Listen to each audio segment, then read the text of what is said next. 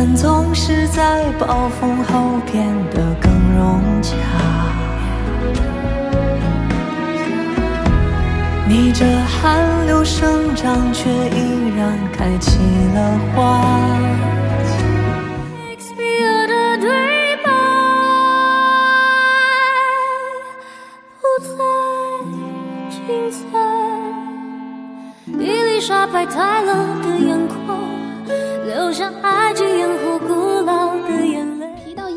想必不少的人都会想起天赐的声音。在往届的节目里，制作方邀请了不少歌坛资深的从业者，改编了诸多的经典曲目，神仙合唱比比皆是，让这档综艺深入人心。近日，节目传来好消息，《天赐的声音三》已经步入了准备的阶段，不久就会跟大家见面了。此前的浙江卫视春晚里，胡海泉就曾透露，第三季即将开录，且常驻嘉宾是三老加一新。三位老人分别是胡海泉、张韶涵、胡彦斌，新人是周深。对于周深的加盟，不少的网友表示，自从大鱼火了之后，周深这个宝藏男孩一直都在输出不一样的东西，带给大家不少的惊喜。他的歌声可以空灵，可以如泣如诉，也可以像达拉崩吧一样百变好玩。去年可以说是周深霸屏的一年，他不仅亮相了多台晚会，还为诸多的影视作品献唱。他为《乔家儿女》献唱的主题曲《生活总该迎着光亮》被人民日报评选为十大金曲之一，油管全球榜更是八连冠。生活总该迎着光亮，再跌跌撞撞也要坚强。数着流星降落你肩膀，而我一直陪伴在你身旁。他为大江大河献唱的《与光同尘》被网友评选为二零二一最佳 OST。同时也获得了十大金曲奖。他的光亮戏腔火爆出圈，在他变得炙手可热的背后，是网友们对他的喜爱。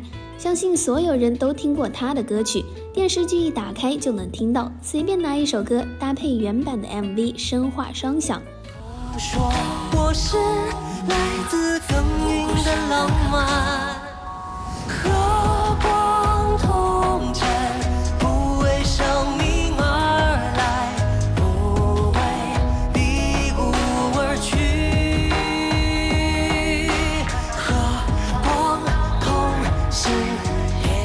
此外，之前网上就曾流露出天赐的声音新一季的阵容，在阵容里，以上四位音乐人都对着，只是还多了一位常驻，是邓紫棋，不知道后面会不会有她呢？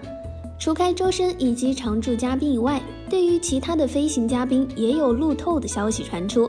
据悉，本季将有七十一位音乐人参加，张碧晨、毛不易、单依纯、陶吉、方大同等都将出席。其中，张碧晨、毛不易、单依纯、A-Lin、徐佳莹、张靓颖是网友期待值最高的。这些音乐人不管是风格还是音色都大相径庭，不知道会有哪些神仙合唱。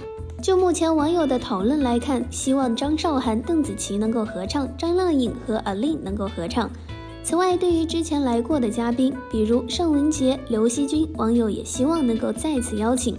总之，目前能确定的就是周深的加盟。对于飞行嘉宾，大家还是多留意官方的消息吧。